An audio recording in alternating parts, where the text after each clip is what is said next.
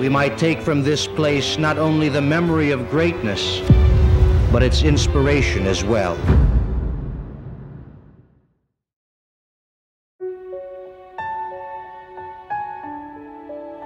It's inevitable in life.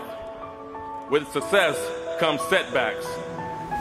And in these moments, our character and our will are tested.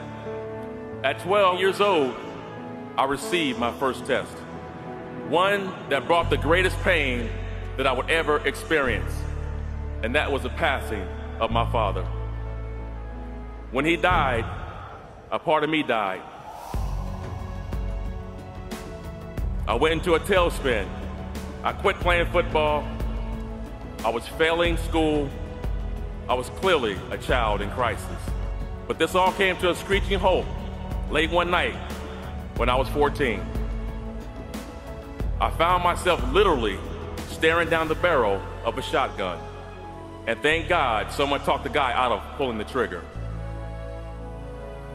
When I got home, I laid in my bed, I closed my eyes, and I vividly relived every moment over and over again.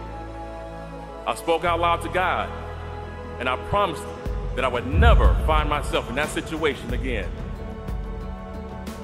During my senior year, after suffering a torn hamstring, I hit another low point.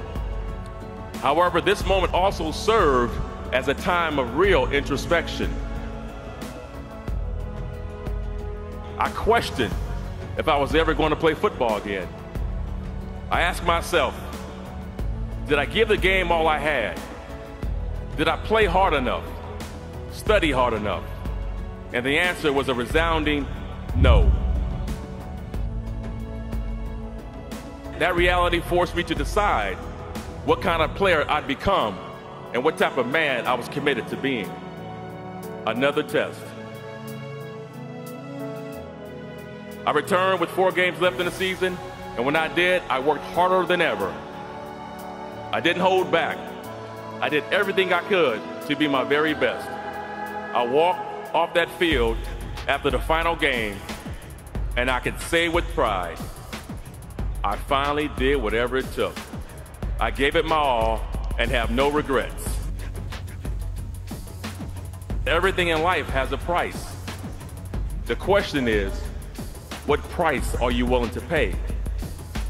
The price to quit on our dreams or the price to do whatever it takes to fulfill our vision?